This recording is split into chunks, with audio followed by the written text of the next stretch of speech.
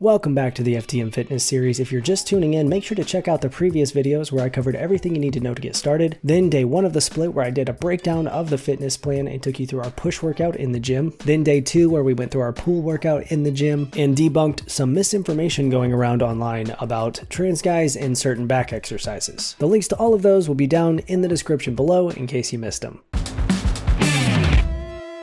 Alright, this is the third and final day of our FTM beginner split leg day.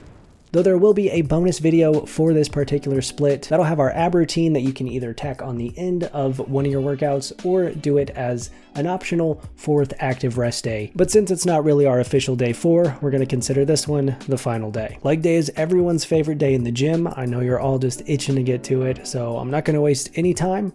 We're to get right to the workout. Starting it off with a five minute warm up on the elliptical. You could also do this on a stair climber or on a treadmill at the max incline setting depending on what's available to you. But I like to make sure that I'm on something where I'm standing up and I can adjust the resistance. And this is just the warm up, alright? So take it easy. You don't want to be huffing and puffing after this. Before I start lifting, I also like to do some body weight leg movements after the warm up, like squats and lunges, and I'll do some stretching kicks as well. But it's best to avoid static stretching before a workout, so anything where you'd like stretch and hold it for 30 seconds or more should be saved for after you lift. But because I'm so sedentary in my day to day life, I tend to be really stiff. I don't have a ton of mobility mobility. So I do try to keep that in mind and do some, you know, dynamic stretching, uh, mobility movements, stuff like that before I lift. So get yourself moving, get warmed up, and then we'll kick off the workout with some squats, which will be our main compound movement for leg day. It's really important here to get the form down before loading yourself up with any heavy weight. So you want the bar across your shoulders, not resting on the bottom of your neck. Then you'll use your arms to stabilize the bar, but it shouldn't feel like you're lifting it with your arms. And you want to take a couple steps back from the rack, but make sure you're still over the metal guards. And you definitely need to be squatting on something that has these. So then you'll place your feet a bit wider than shoulder width apart, with your toes slightly pointed out. And for the movement, you want to plant your feet, keep your chest up, and your back straight, meaning you're not going to ever hunch over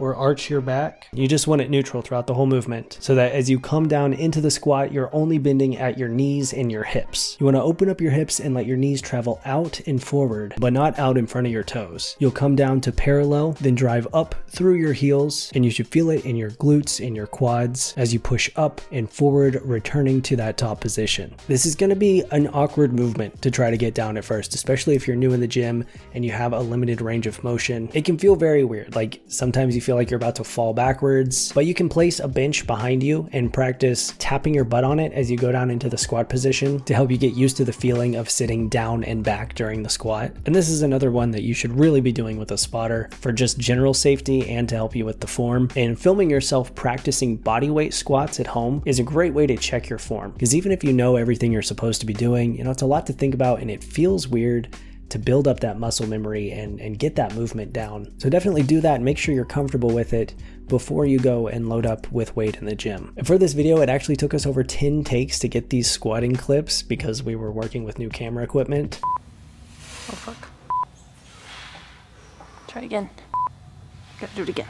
So by the end, you know, where the footage looks good and is usable, I had already done about 50 reps with 135. And you can really tell that my form is suffering. Like I should have just taken the weight off and done it with the bar so that I could demonstrate the proper form, but I wanted the consistency because I I don't know. It's been a while since I filmed those, but uh, that's all right because I can actually use this uh, to point out some common squat mistakes. So first off, I'm not going down to parallel. This is called half repping and generally means you need to lower the weight or work on your mobility so you can comfortably perform the full range of motion. And then next you can see that my knees are moving forward past my toes. That's because my hips are closed off. So I probably need to get my feet out a bit wider, point my toes out more at least, and make sure I'm opening up my hips so that my knees travel out more rather than forward. So while squats can be tricky, don't let that deter you from doing them. These are the prime leg day workout and well worth putting the time and effort into learning. And if you don't have a spotter to help you out with free weight squats, there are lots of substitutes. There's a hack squat machine. You could do goblet squats with a dumbbell or Smith machine squats, but all those will have slight variations when it comes to form and how to do them.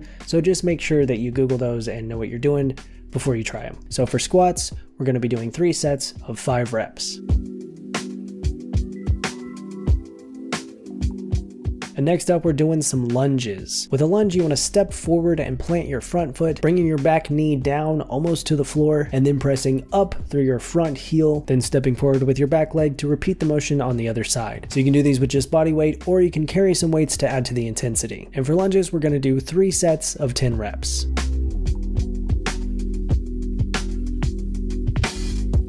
Then we're moving on to the leg press machine. This will be similar to the squat. You want your feet outside of shoulder width, toes pointed slightly out. You want to keep your whole foot planted, bring that weight down, and then drive it up, pushing through your heels. And make sure you get your foot placement high enough on that platform so that your whole foot stays planted throughout the movement and your knees don't move past your toes. And for the leg press, we're gonna do three sets of 10 reps.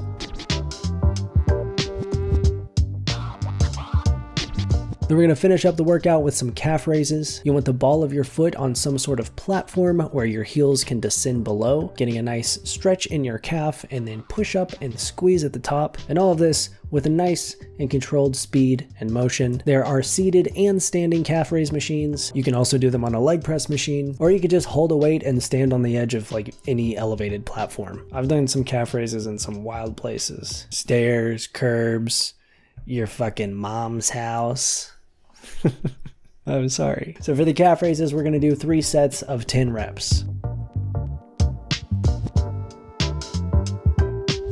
We're going to wrap up the leg day with an extra spicy burnout. Hop back on that elliptical, crank the resistance up, and try to go for five more minutes. It should feel like you're walking through mud. Like your whole shit is gonna burn, and it's fine if you can't go the whole five minutes. Just do what you can. I'm sure your legs are still gonna feel like jelly and you're gonna wanna die. And really, that's the best we can hope for with leg day. And then you're done. Congratulations, you didn't skip leg day. Now, with this being the final official day of our split, I would like to remind you that as a beginner, you should be able to make a mass gainer scoop amount of gains off of this split. So enjoy. And keep in mind that in order to continue making progress, you need to continue to challenge yourself. That means adding weight, adding reps, adding days in the gym, as your body adjusts. Like I said in the push day video, you can make a couple really easy modifications to this split to turn it into a full 8 week program, but there may come a point where you hit a plateau and you've tried making all those adjustments and you still feel like you're not really making progress with this split. That means it's time to add in some exercises or just adopt a new split altogether. I'll be putting up the ab workout video next, and since I've had a ton of requests for home workouts, I've decided to do a modified version of this split uh, that's going to be entirely home workout based with little to no equipment needed. So all of that is on its way. Make sure you're subscribed and you got the notifications turned on so you can catch it when it drops. And if you found this video helpful, please give it a thumbs up. Don't forget to watch the others in the series. Leave a comment if there's anything else you want me to cover or talk about in a future video. But as always, I hope you enjoyed this video. I hope you have a wonderful day and I'll talk to you soon. Bye.